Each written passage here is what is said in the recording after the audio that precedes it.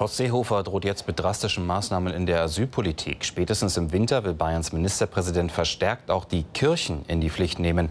Seehofer wirft der Bundesregierung vor, die Flüchtlingskrise sei eine Katastrophe mit Ansage.